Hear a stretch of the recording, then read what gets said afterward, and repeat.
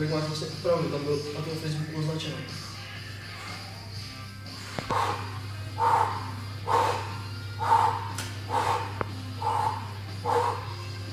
Který něčeho dosáhli, jo?